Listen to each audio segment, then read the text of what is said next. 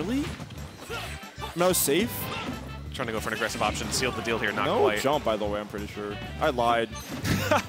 Casual commentary, lying to the viewers. That's us, baby. All Dude. right. So this is Squidplumber's game to lose right now. I think Enhance wants to grab that.